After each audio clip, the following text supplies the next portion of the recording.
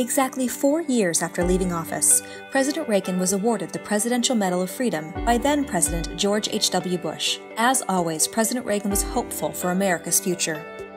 Some may try and tell us that this is the end of an era, but what they overlook is that in America, every day is a new beginning, and every sunset is merely the latest milestone for a voyage that never ends. For this is the land that has never become, but is always in the act of becoming. Emerson was right. America is the land of tomorrow. Thank you for joining us for this week's Throwback Thursday with President Reagan. Join us next week as we share another inspirational quote.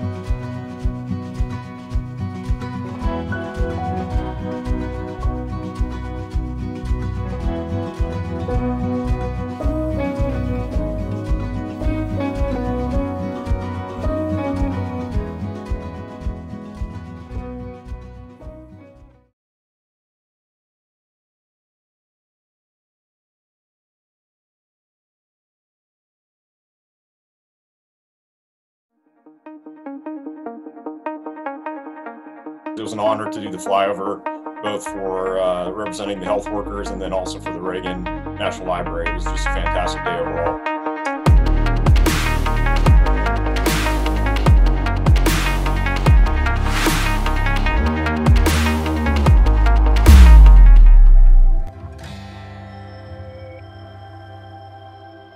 Started off as a joint effort in New York and worked our way down the East Coast and then kind of hit the middle part of America and then, as I said, we decided to hit a couple towns over on the on the West Coast, and that put an end to America Strong. But it was absolutely a national effort. It, it was ambitious, but at the end of the day, I think it was definitely worth it just to uh, honor the people who are on the front lines battling the outbreak and try to just improve their day a little bit if we can. Let them know that we're all behind you, we're supporting you, we're in this together, and we're thinking about you. And that was the intent of America Strong, and I think we were able to, to do that effectively all the flyovers that took place prior to that, San Diego and Los Angeles, were the six ship Delta Formation. Uh, the six ship uh, Delta Formation are the six show jets that fly the air show. Rick told me, he says, and once we get up just before Point Mugu, I'm going to join them up with the Delta, put them on the outside wings, and we're going to fly across the library in the Super Delta, which is all eight jets. And that is really very unique that uh, the um, the Reagan Library got that flyover. So. Yeah, it's really some unconventional heroes, I would call it, have emerged from this whole situation. Uh, you know, in tr- traditionally in lanes, you wouldn't expect to find, you know, that kind of that kind of categorization. But uh, you know, the the people who check you out at the grocery store, the cashiers, uh, the, the people running the logistics train, truck drivers, people who receive shipments. These folks are on the forefront of this battle and every single day they're you know they're scrubbing up they're going to work they're protecting us providing us essential goods and services uh, and these are scary times and they do it every single day and it's it's not just you know it's it's not just because it's their job it's their living it's because they have a commitment to the american people and i think to helping us get through this and that is that's a part of what america strong is all about just saying we are a strong nation because we have strong communities we have strong people and together we're going to get through this and that was kind of the, the whole goal that we want to highlight there is that everybody's doing their part and we appreciate that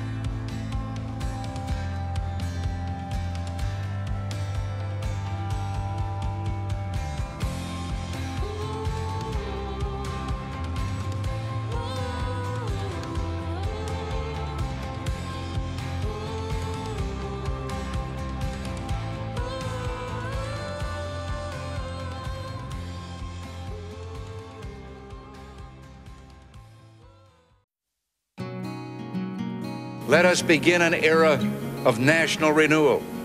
Let us renew our determination, our courage, and our strength.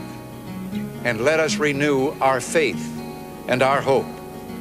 We have every right to dream heroic dreams. Ronald Reagan's election victory marked a profound change in American politics. Carrying 44 of 50 states, he attracted votes from many Democrats and independents. He led Republicans to control of the U.S. Senate for the first time in 28 years, though Democrats still controlled the House of Representatives and would challenge many of his ideas throughout his presidency. The election of 1980 marked the beginning of the Reagan Revolution, based on freedom, economic opportunity, national pride, and global democracy. On January 20, 1981, as he took the inaugural oath, Ronald Reagan wore this suit, and Mrs. Reagan wore this wool ensemble designed by Adolfo. Both are on display within the Reagan Library galleries. Thank you for joining us for this week's Monday Minute in the Archives. Join us next week as we share our next treasure.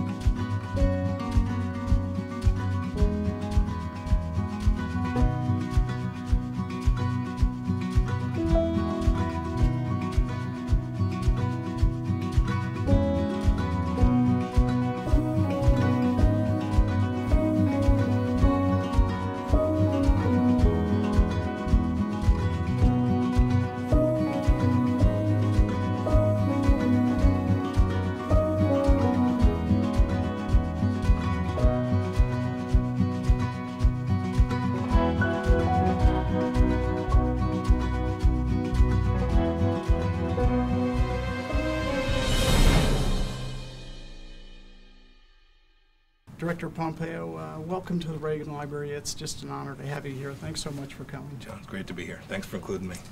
Um, you know, Director, I, uh, I've read that you are uh, close to the President. Uh, that's a great thing.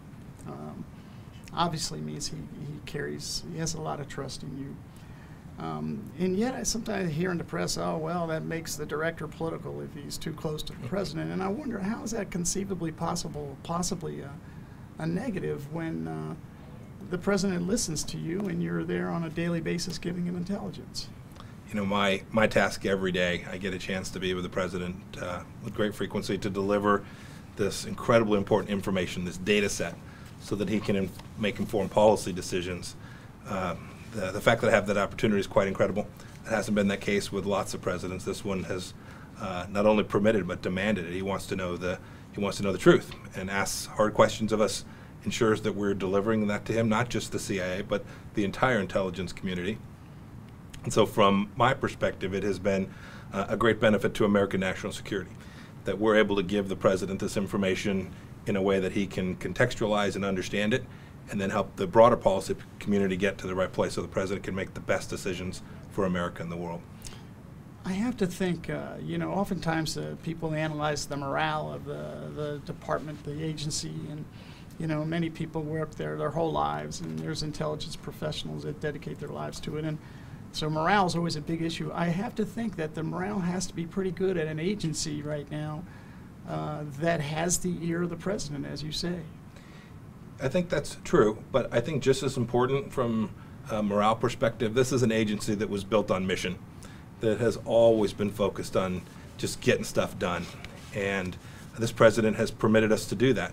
Um, he, he is demanding, he demands the intelligence community execute uh, the mission, the national security mission. He's told us what his priorities are, and then he has empowered me, and in turn, I have allowed the agency to go out and crush it, to give unfair advantage to the United States of America. And so uh, I always think morale is best at the CIA when these officers who have volunteered to come to the clandestine service to be part of the world's finest espionage organization are unleashed to, to do their job. And, and that is certainly the case today. Uh, my expectations for my workforce are incredibly high, and I think that's something that, uh, that they thrive on. knowing what you know now about the challenges and the threats and the work you're putting in each day to, to address them, where do you think um, you hope to pin your greatest success? Is it is it going to be on the defeat of ISIS? Uh, you know, you, do you think you'll be able to look back and say we stopped North Korea? Is there something in particular, from an intelligence perspective, in particular, where you'd say, okay, that's where we deserve the trophy? I don't know exactly where it'll be. I hope we achieve success for the president and the country on each of the in each of those theaters and against each of those adversaries. Um, as the director, one of the things that I'm counting on is that I will leave behind an organization equipped to continue to conduct espionage for the next 20 years, a workforce that is fired up and with leaders capable of executing the mission, technology in a place where we are cutting edge, uh, best in class along multiple dimensions.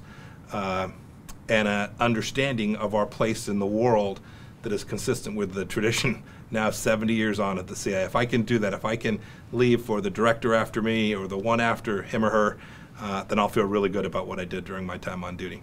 Terrific. Mr. Uh, Mr. Pompeo, Director Pompeo, it's just an honor to have you here. Thank you so Thank much you, for sir. answering the questions. Thank you very much. Appreciate it very much. Thank you.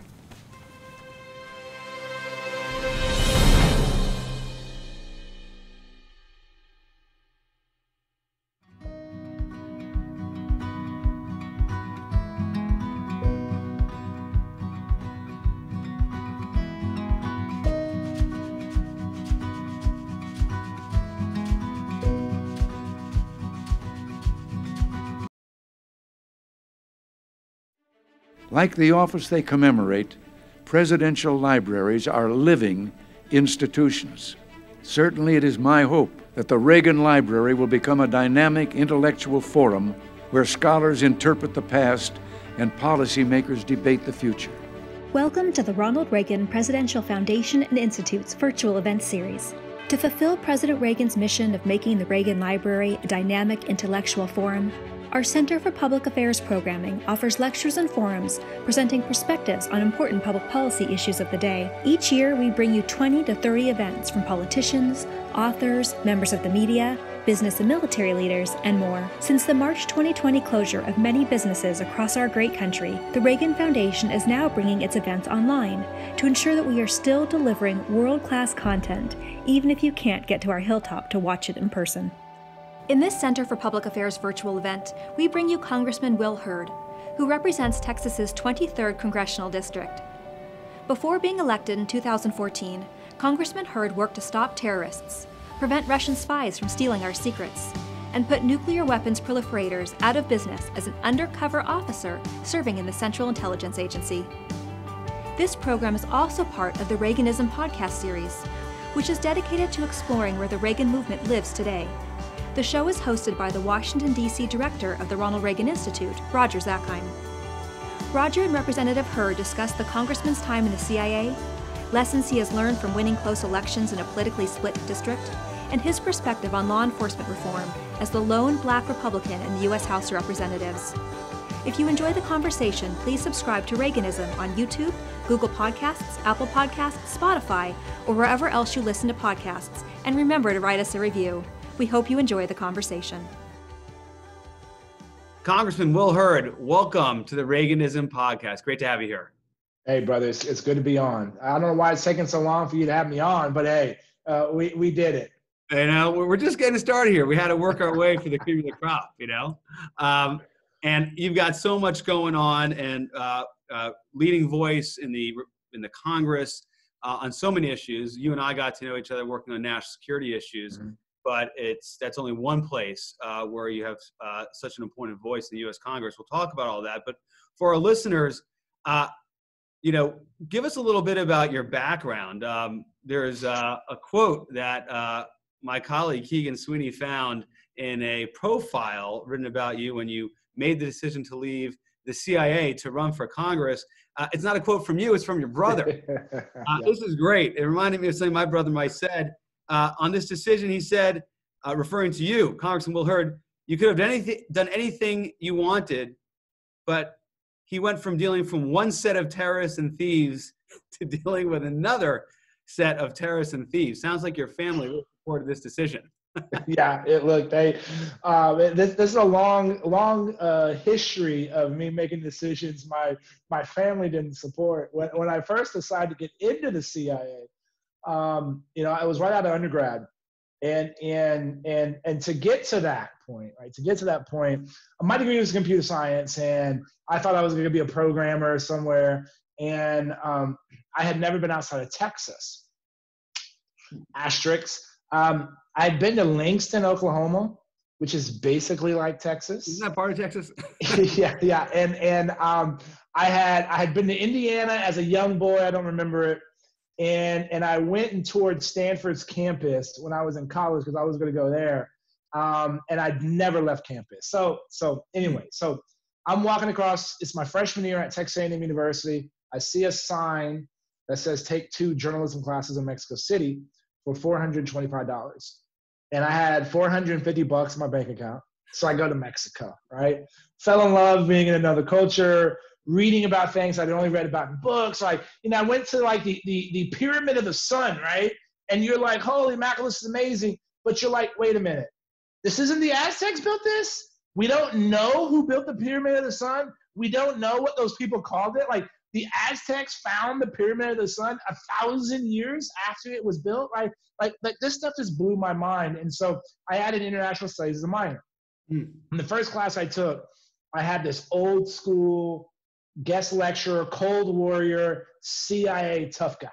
Right, his name's Jim Olson, and and he was the head of counterintelligence. Um, was involved in the Aldrich Ames, you know, uh, uh capture, all that stuff. And he told these stories and i was like hooked right?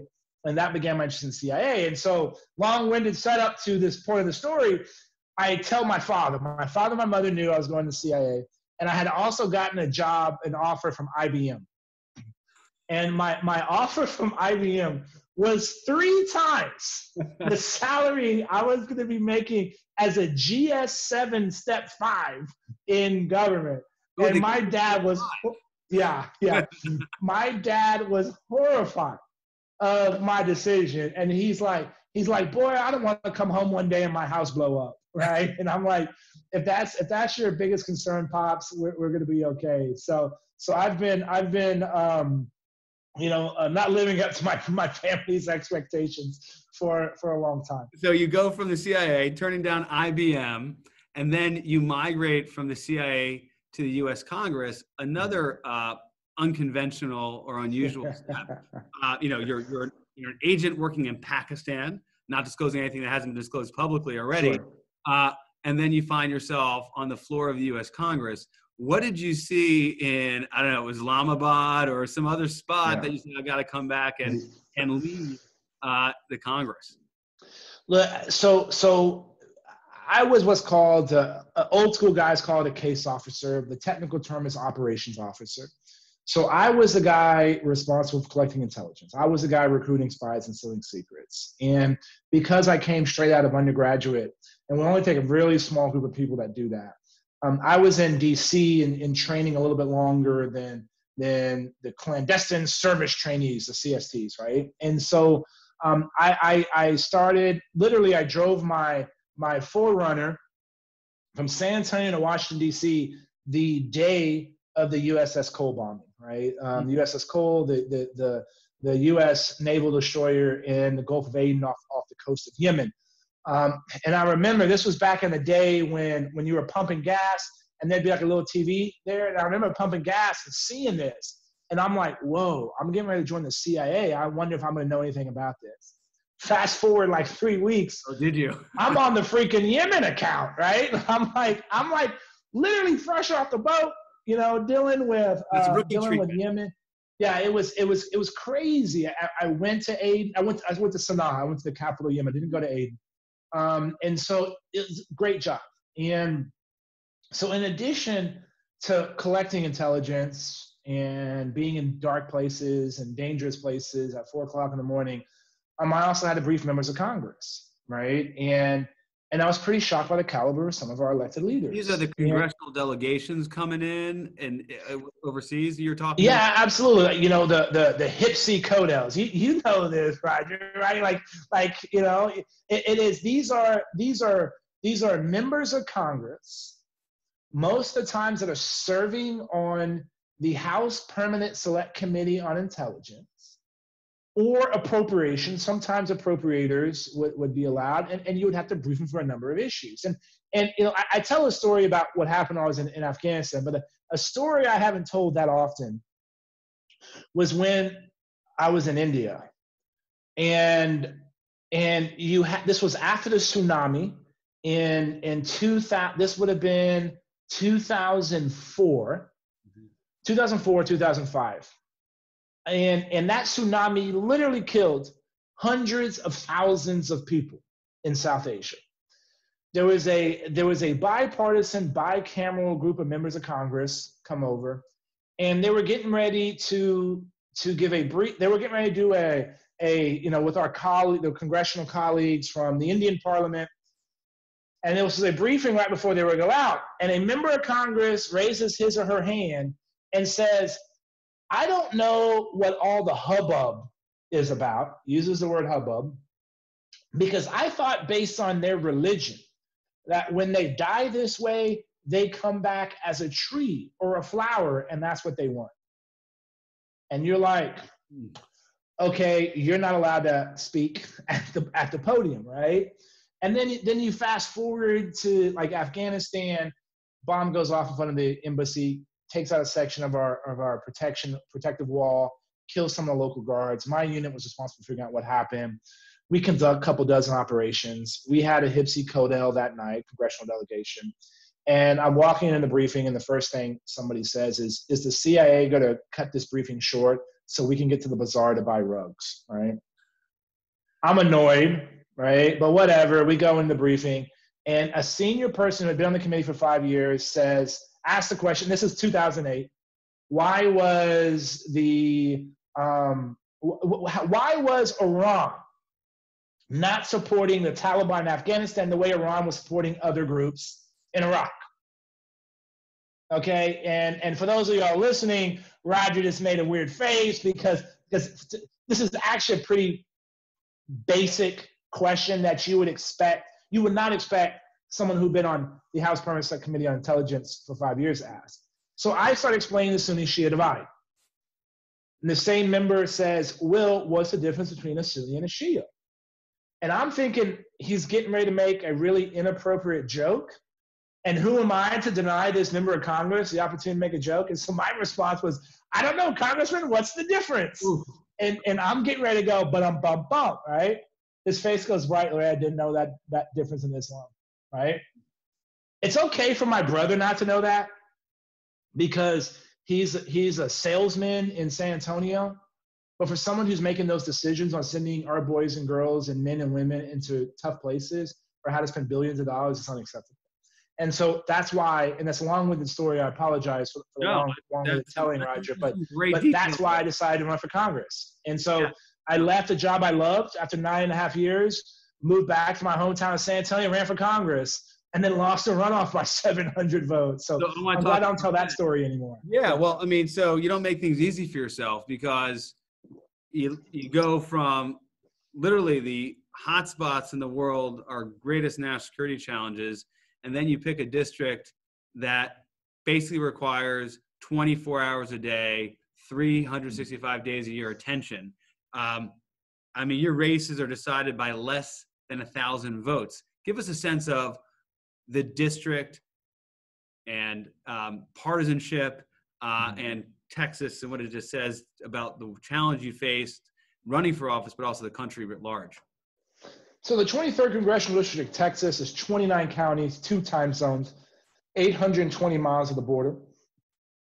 It takes 10 and a half hours to drive from one corner of the district to the other at 80 miles an hour, which is actually the speed limit in, in a lot of the districts.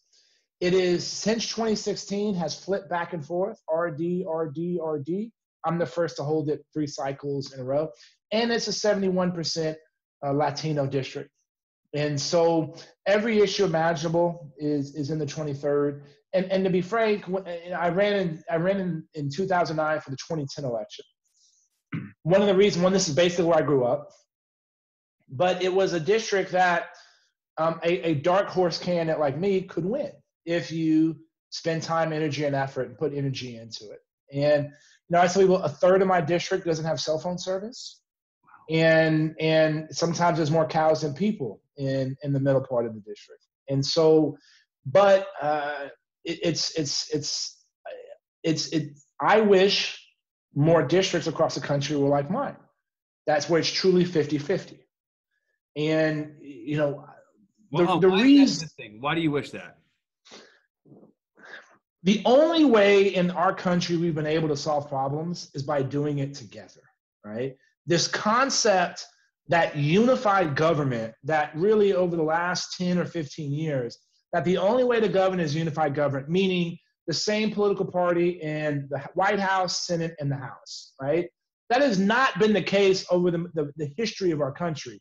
And we usually are able to govern and, and work together, right? And when you work together, those things stick, right? You know, the major piece of legislation that have been bipartisan has stuck. And and that's what's great. And so to me, the competition of ideas should happen in November, not in March for in Texas's case, which is when our primary is, right? Primary dates are different across the country. And so if more districts were 50-50 and that competition of ideas was in November, we would be better off. And, and if you look at the 2020 cycle, 40 seats are competitive. But if you go back 20 years, you probably had about 100 and you know almost about 100 seats. 10 years before that, about 150. 10 years before that, you know, over 175, right? And, and so if more districts were 50-50, I think you would see you and I get rewarded for solving problems. And and right the way you win elections now is by creating contrast. And so if I win an election by creating contrast, guess what am I always doing? Creating contrast, right? And and so I, I think that and, and that's why that's why I love the 23rd, right? The 23rd is not like that. It's the exact opposite. So uh, we're to get to this at the end, but one more question on this point, and then I want to I want to talk about your your role in the Republican Congress right now, the Republican uh, conference, is to say. But um, is it alienating to be a member who has to really kind of be in a 50-50 district? And you know as you said you're trying to get stuff done. You know you didn't use the word compromise but i think it's what you're implying that you got to compromise you got to seek some sort of agreement consensus. Whereas the other uh, members either members in your own party members in another party where it's not 50-50 there they're using the institution as a platform like what you've 11 you know written about and they're not trying to get stuff done I mean, how do you how do you coexist with the members who are in the 50-50 space and those are in an 80-20 district It's, it's so this is why there's a lot of friction, right, in getting things done. And and so look, for me, it's real simple. My my philosophy is this: the president of the United States is not my boss.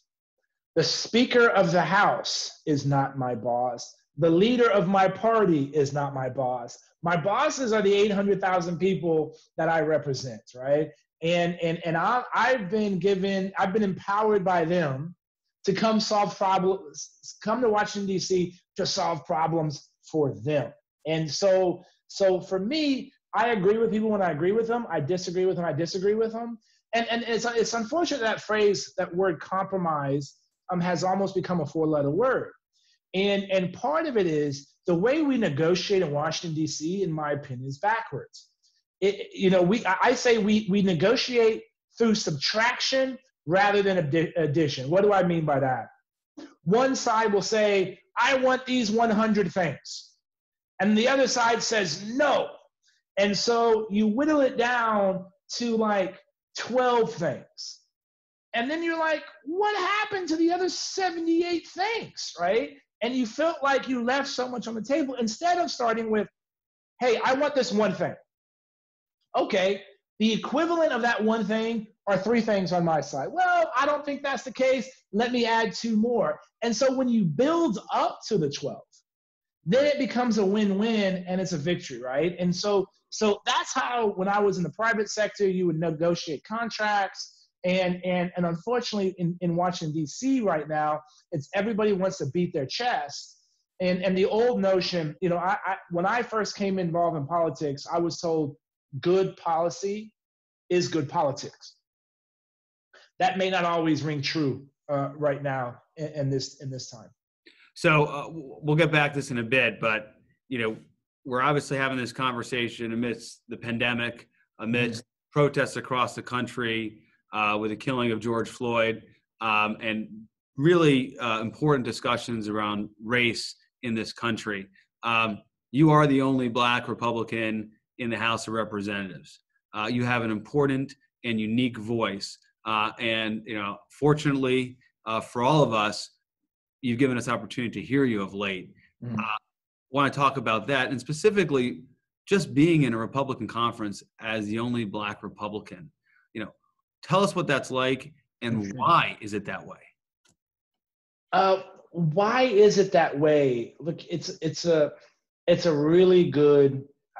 I, I, I wish I wish I was a proper historian and and could and could could could say why. Right when you go back to we all know, you know, uh, my father always says, my father's 87 year old black man. My, my mother is white. And my dad always says, he's like, I've been a Republican since Lincoln freed us. Right. And then you look at what Ulysses S. Grant, who is completely underrated as a president, the things that he's done for, for our country and the African American community. And when you look at, um, you know, some of the, the Jim Crow laws and things that happened, those were actually uh, democratic laws uh, uh, uh, back then. How we have gotten to this point, I, I wish I could do better say why we are where we are today. But one of the problems that we have is is and this is not me complaining this is just statement of fact when any republican says anything crazy every other republican has to answer to that and so there are republicans that have said racist misogynistic anti-semitic homophobic things right? And and unfortunately, the entire party gets gets gets gets painted with that brush. And then we don't do enough to take our message to communities of color. And and and so if we did a better job of engaging folks, and you can't engage if you try to engage somebody three months before an election, that's called pandering, right? You have to have a prolonged effort. And so what I have done, like when, when I go to communities along the border, that literally in, in a primary, the first primary, there's a uh, Eagle Pass is on the border. The county is Maverick County. In in in 2009 Republican primary, there were 27 Republican primary voters, right? Uh, now in the general election, you had it was the fourth largest county, right? And and so a lot of times Republicans just didn't go. Mm. But hell, I showed up, right? And and literally the first time I went, there was a party, it was an afternoon party, about 700 people. And I had 212 people come up to me and ask me, why was I there? Now, the, what I call the professional political class, campaign consultants and pollsters would say, you know, well, these are Latinos and they're probably Catholic and Catholics are pro-life. You should talk about your pro-life you know, experiences. Like, no, no, no, no. My answer was real simple. I'm here because I like to drink beer and eat barbecue too, right? And then, uh, and then they they kind of laughed. And the second time I showed up, people would actually shake my hand. Third time I showed up, people would walk by and be like, "I'm a Republican," right? And then the fourth time they'd tell me a problem. Fifth time I'd come back and say, "Hey, this is how I solved it," right? And so my numbers in that community, like were drastically improving. And one of the reasons why um, I've been able to survive and, and, and thrive, to be honest, in a district like this, because I engage. Now, I don't engage just because I have melanin in my skin. I engage because it's the right thing to do.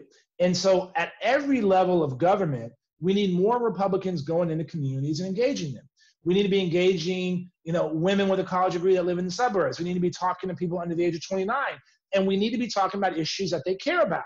And oftentimes we come in with some complicated macroeconomic theory. And it's like, no, people care about food on the table, roof over the head, and and and the people that they love being healthy and happy. Focus on those things, right? And this is where I, I criticize some of the think tanks and stuff too, because let's articulate how our policies in recent times has helped. We always just want to, you know, right now uh, under the current administration, you know, unemployment for African Americans the lowest it's ever been. Okay, great. We need to be able to talk about more things, right? Uh, we, we should be talking more about how um, school choice in Texas has led to Latinos having better test scores by far, right? Uh, versus versus people in, in other schools, right?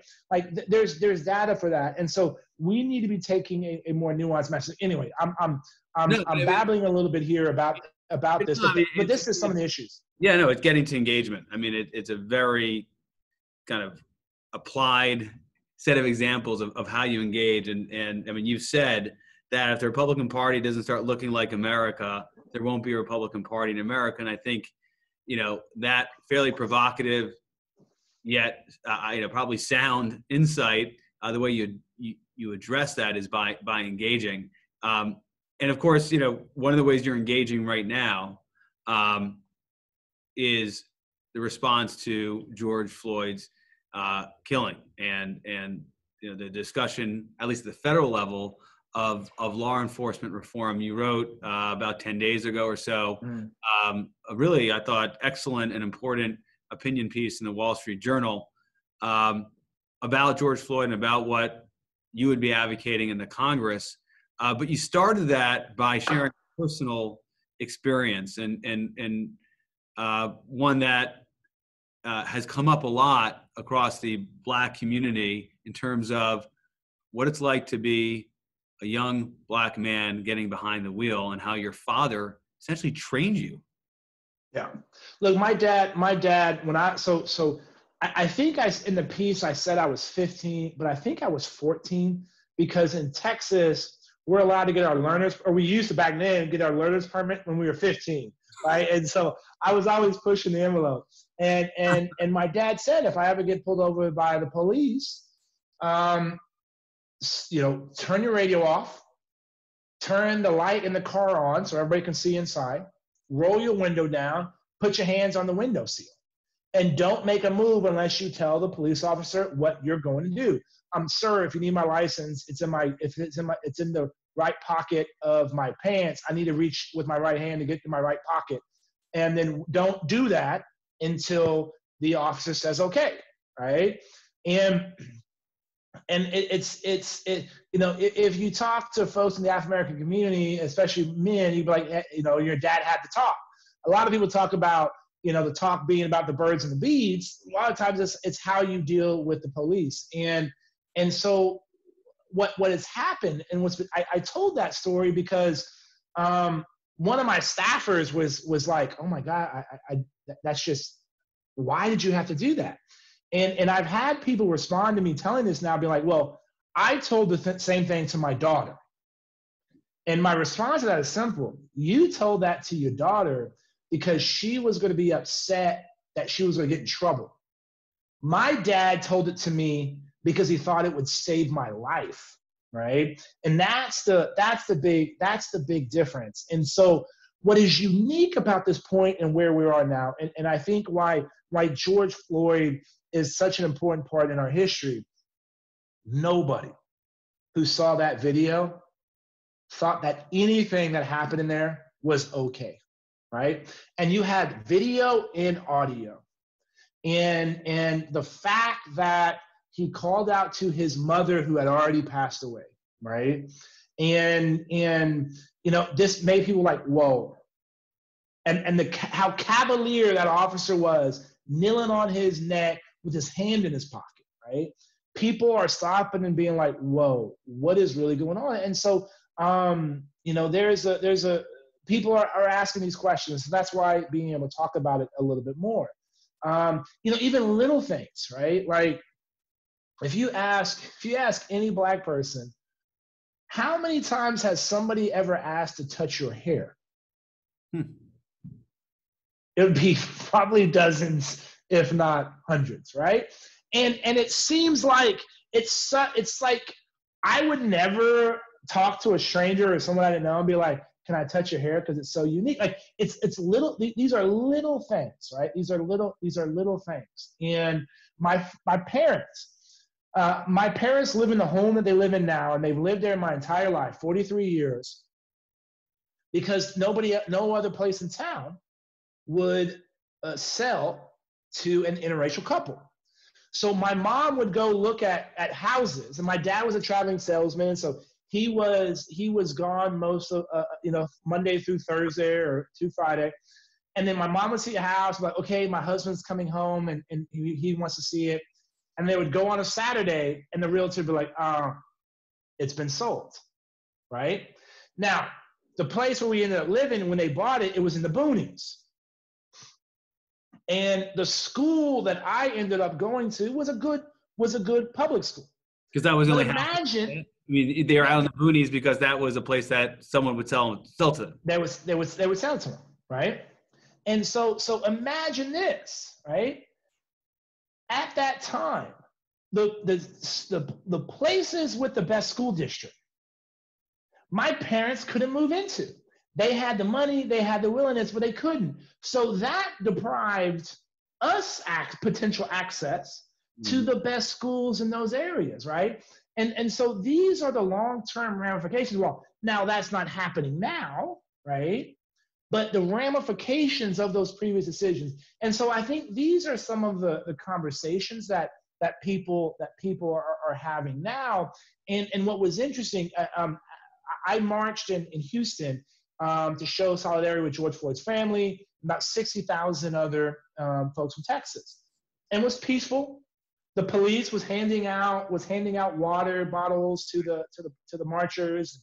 And you had all shapes and sizes all colors right? Like it really i, I was shocked at how many non-blacks were there no, right? i saw your tweet. You tweeted live from there or you put something out. It was, it yeah was, it was it was amazing. And, and and for me it was what was happening at that moment people were outraged by a black man dying by a white officer in police custody.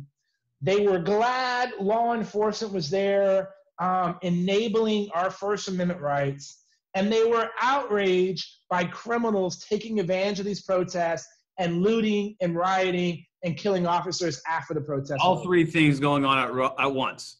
And, and that's okay. You can feel all of those emotions at the same time, and it's okay, right?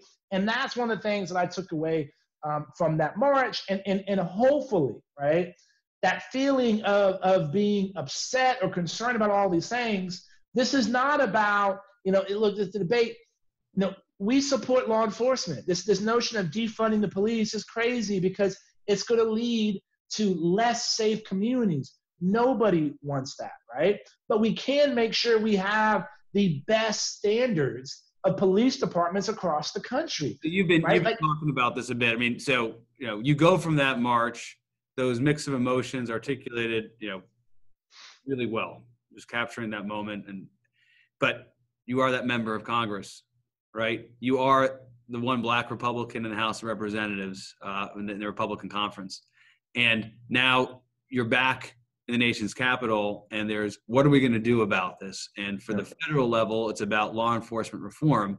And so now you know 10 days 15 days later whatever it is you're in the center of this debate and you've just articulated where you stand on a major fault line this defund the police mm-hmm. or what you've emphasized training spending more to train police.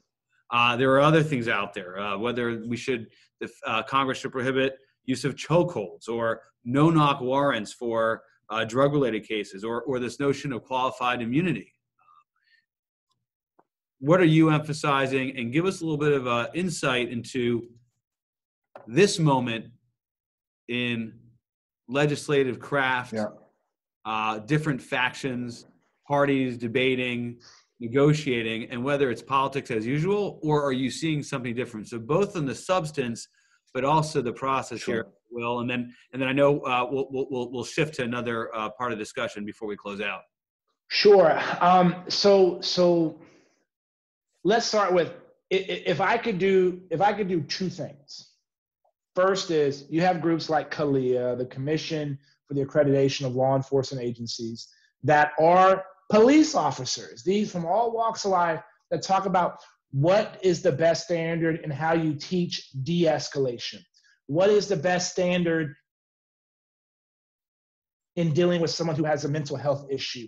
What is the way you respond to somebody who's drunk, right? How you should handle people when they're handcuffed, right? Like, like we can come up with the best standards and, and, and, and how policing works. But unfortunately, that level of training is not uh, the same across police departments across this country. How can we incentivize police departments to use those best practices? And to me, it's with federal grants that, that are already being given, right? And so, so let's improve. Yeah, let's improve. Let's improve the standards across all those. Let's find that standard body, use it. That's what two. Making it easier for a police chief to fire a bad cop period end of story right and and and usually a police officer fires a cop it goes through adjudication and then 46% of the time that cop gets put back on the force right it's no, crazy if they get fired if they go through that adjudication process which just from the way you've described it seems onerous and difficult 46% of the time that same officer will find that way back onto the force the same force that the chief of police thought it was necessary to fire that person for. It's crazy, okay?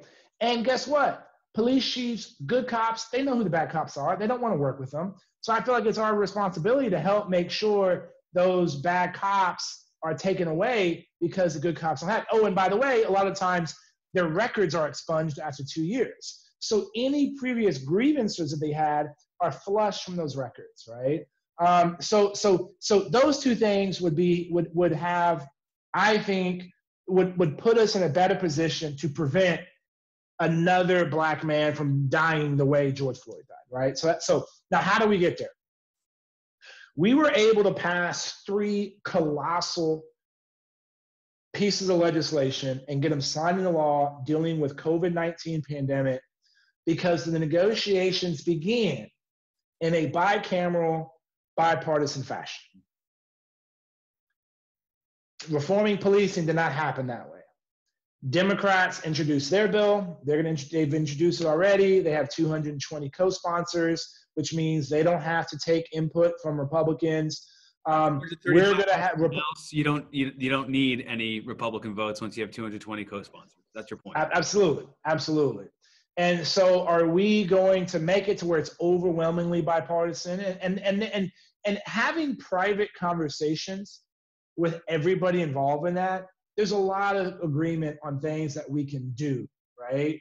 And and so so I also think that the rhetoric around this has been um, tame compared to rhetoric around other pieces of legislation. But we'll see over the next two weeks and, and I think in the House, um, this is going to go to judiciary.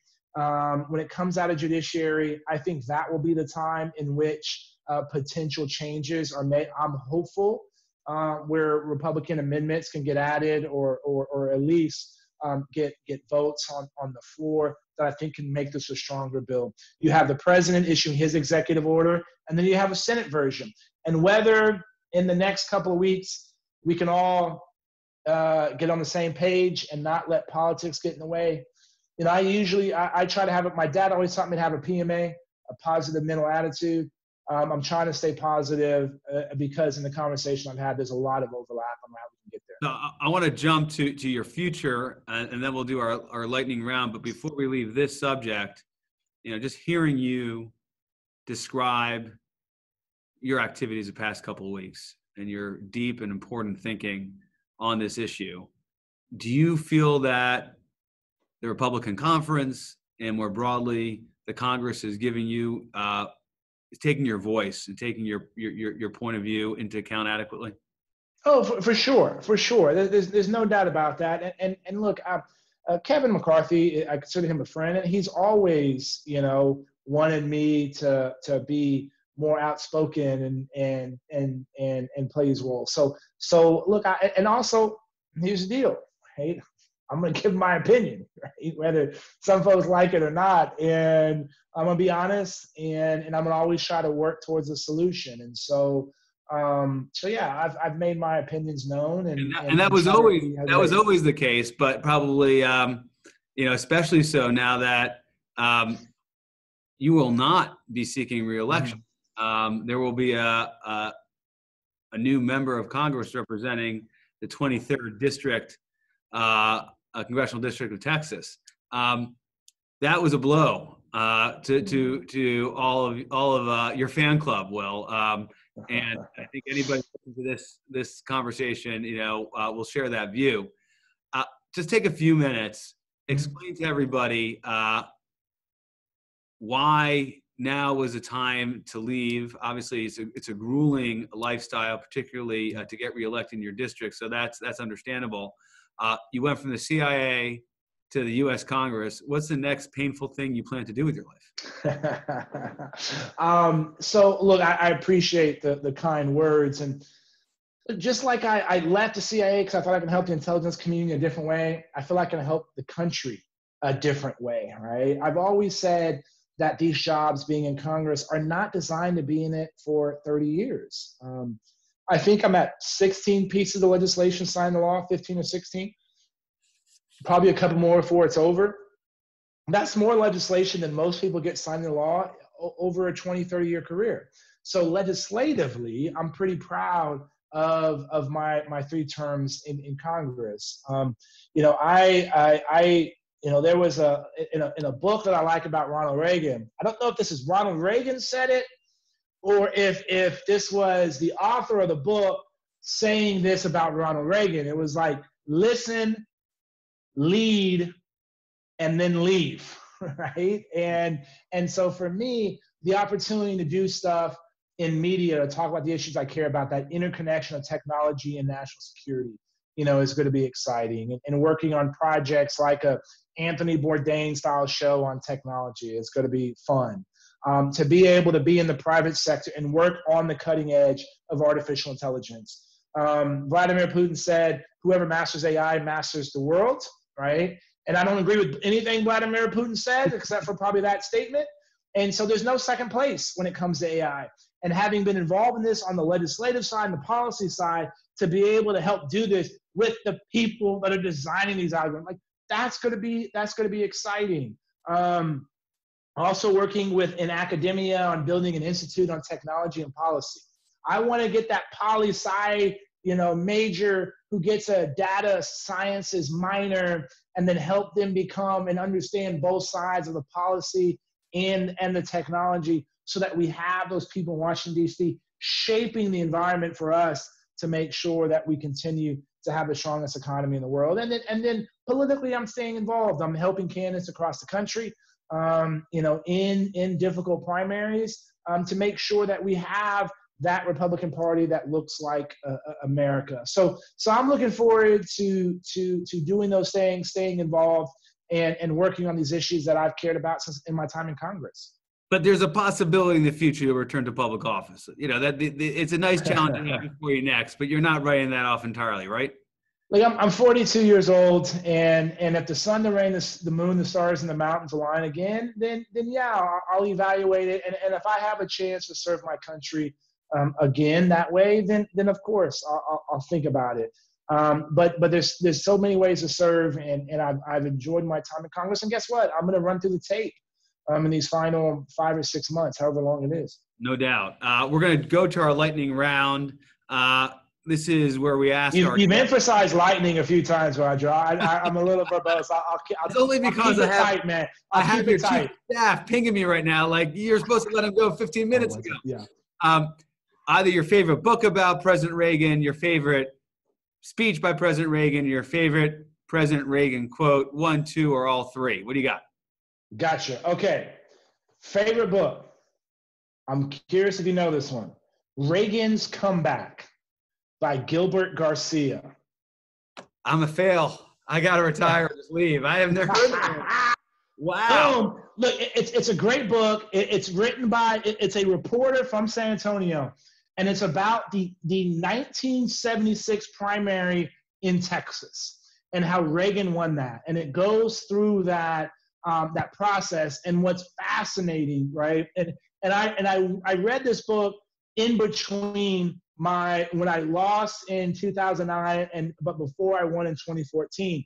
And what's wild is a lot of those people that helped Ronald Reagan in 1976 were people that were helping me. Come on. Um, in, in in 2014, right? It's it's it's it's it's it's an amazing um how they pulled that off, right? It's it's a wonderful it's a wonderful book. Another good one is is the greatest communicator by by Dick Wirthlin. Um, you know, his longtime uh, political um, you know uh, um, writer and aide, yeah, uh, strategist, right? And and one of my favorite things from that is persuade through reason and motivate through emotion, right? That that's great. Um, and a great speech is his 1980 acceptance speech at the Republican nomination for president.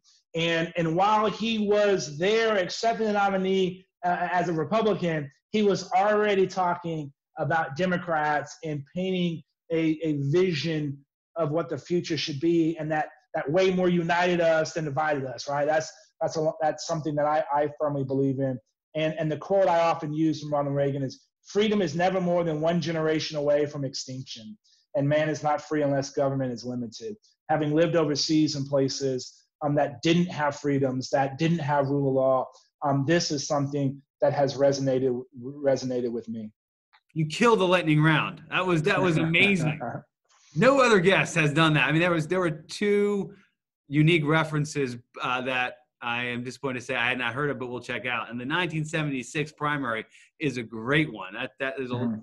what people don't really know about President Reagan, but actually one of the most consequential things he did. Um, Congressman Will Hurd, it's been awesome having you on the Reaganism podcast. We look forward to having you back at some point in the future uh, in whatever amazing new uh, uh, activity you're, you're up to. So, uh, really, thank you so much for joining us. Hey, brother, enjoyed it. Thank you for joining us for today's virtual programming event. We hope this conversation has inspired you to share what you've learned with your family and friends, and that you'll join us again for an upcoming event. And let me offer lesson number one about America. All great change in America begins at the dinner table. So tomorrow night in the kitchen, I hope the talking begins. And children, if your parents haven't been teaching you what it means to be an American, let them know and nail them on it. That would be a very American thing to do.